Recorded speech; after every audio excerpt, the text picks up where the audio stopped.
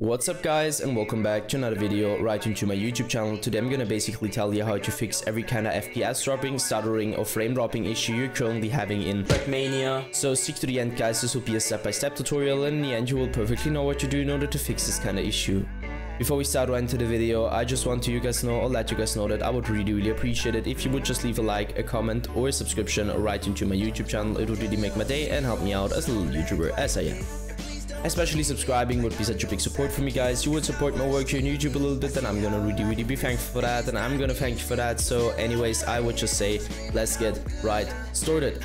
So the first step I would recommend doing for everybody is gonna be to simply navigate to the very bottom of your screen where you're gonna right click your taskbar and open up your task manager. So once you did that, I want you to navigate to the top left corner of your screen, clicking onto processes, and once you click processes, I want you to click CPU. And what I want you to do with CPU is going to be to end every single task which is currently having too much CPU or GPU usage at the moment. So one reason for that, I'm going to explain it. So too many applications, too many programs, too many games running at the same time in a low end or bad PC with too much CPU, GPU usage will cause crashing, lagging, or freezing, and FPS drops, frame drops, stutterings, whatever. You can just, it will just destroy your PC. So just simply end this task. So once you're finished with that, I want you to end this task again. So, so the task manager.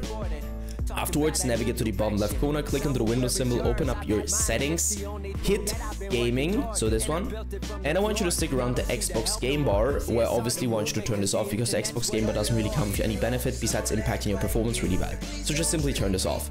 Afterwards, hit captures, and once you're at captures, load a little bit, yeah, now uh, you're gonna stick around background recording and go to record the background while I'm playing a game and obviously turn this off because I mean, it's obvious that if you're recording something in the background, especially on low-end or bad PCs, it will impact your performance really bad. You don't want that, so just simply turn this off.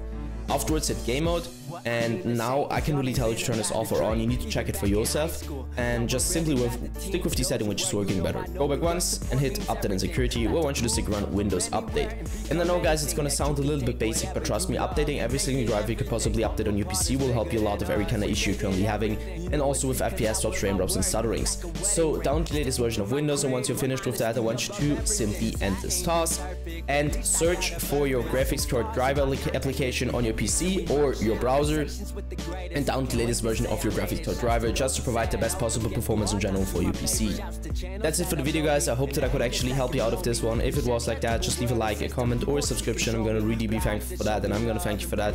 So anyways, I would just say have a nice day, see you at the next one and bye.